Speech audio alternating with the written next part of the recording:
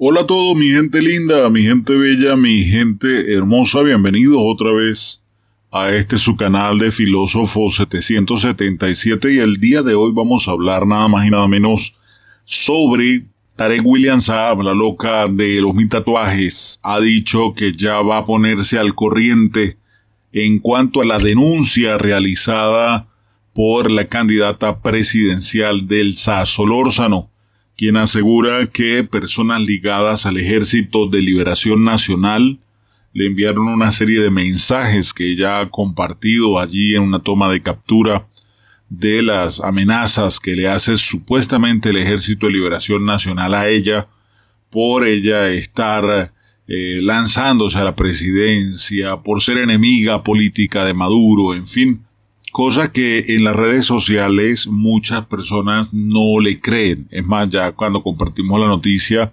veíamos como el casi el 99% de las personas que hablaban en el Instagram, que hablaban en las redes sociales, en el en X, en otras eh, redes sociales sobre el tema, decían que esto era un autogol, era eh, una, una manera de buscar la candidata, llamar la atención porque está de última en las encuestas.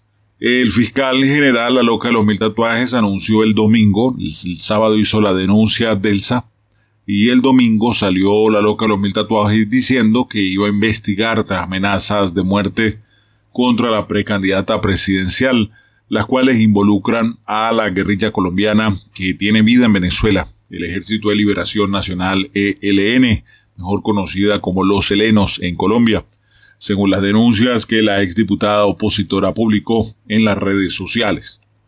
Ante las amenazas de muerte que denuncia a través de sus redes sociales la ciudadana Delsa Solórzano, hemos decidido designar al fiscal 94 nacional en materia de derechos humanos para investigar dicho suceso. Así dijo en Twitter el fiscal impuesto por la constituyente Tarek William Saab, alias La Loca de los Mil Tatuajes, sin otro comentario al respecto. La exdiputada, una de las trece personas que busca convertirse en la banderada de la oposición para las presidenciales del 2024, expuso este sábado las amenazas que le llegaron a través de Facebook y que incluyen frases como las fuerzas colectivas del ELN o del Ejército de Liberación Nacional van a asesinarte. Asimismo, le aseguran como ya cayó el candidato presidencial ecuatoriano Fernando Villavicencio, asesinado el pasado miércoles al término de un mitin en Quito, ahora es el turno de ella, decían allí. Por ello, Solórzano, que asegura ser víctima de constante acoso y de persecución, ha optado por denunciar este hecho, explicó, en virtud de los grandes acontecimientos que se han dado a nivel internacional y los graves hechos ocurridos recientemente en Ecuador, visto que esta amenaza tiene claras motivaciones políticas. Vista la ausencia del Estado de Derecho en Venezuela, voy a realizar esta denuncia formal ante los organismos internacionales. Asimismo, en cuanto a mi campaña presidencial, yo seguiré recorriendo el país y llevando el mensaje de cambio y esperanza que tanto anhela Venezuela, agregó la presidenta del partido Encuentro Ciudadano. El grupo guerrillero que en julio negó la autoría de las amenazas contra la precandidata presidencial María Corina Machado, hasta el momento no ha hecho ningún comentario sobre esta nueva denuncia que hace Delsa Solórzano. Repito, en las redes sociales nadie absolutamente nadie se cree el cuento de esta amenaza a Delsa Solórzano. Vuelvo y repito, como lo han dicho más de uno, va de última en las encuestas. Otro dice por allí no llega ni al 0,5% de intención de voto. ¿Por qué amenazarla a ella?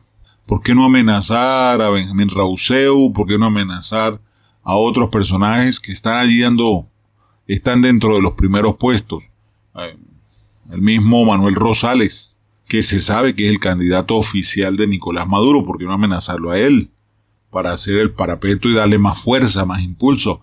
Bueno, no sabemos, el caso es que si las investigaciones se hacen como es y se demuestra que aquí lo que hay es eh, intenciones publicitarias para ganar fama, debería aplicársele también la ley por esto, ¿no? Porque eso es un delito, eso se constituye delito. la difamación, el señalar cosas que realmente no están sucediendo para atraer el, la intención de voto. Bueno, esa es mi manera de pensar, no sé qué piensen ustedes. Déjenme su opinión en la, en la caja de comentarios. Como siempre, un abrazo rompe costillas, lo quiero mucho. No olviden visitar autodidactamillonarios.com. Te recuerdo que hay excelentes cursos para ti y si tienes un conocimiento que compartir, el curso de Masterclass en creación de cursos digitales, la primer clase, tremenda clase gratis para todos aquellos que se inscriban, totalmente gratis. Puedes aprovecharle el día de hoy. Te recuerdo que si estás en Venezuela, Cuba o Nicaragua, tienes que acceder viendo el video que aparece allí en la página de autodidactamillonarios.com, solo si vives en, los en uno de los tres países, Venezuela, Cuba o Nicaragua. Si no vives en ninguno de los tres países, accede directamente a la masterclass en cursos digitales, en creación de cursos digitales, coloca tu correo electrónico, confirma el correo electrónico y comienza esa masterclass gratuita si quieres vivir de tus conocimientos o si conoces a alguien que tenga algún conocimiento y que quiera ser coproductor contigo. Aquí hay dinero para hacer. Tú decides. El dinero está hecho, decía mi señora madre, hay que buscarlo. Me despido. Bendiciones. Hasta la próxima. Dedito arriba.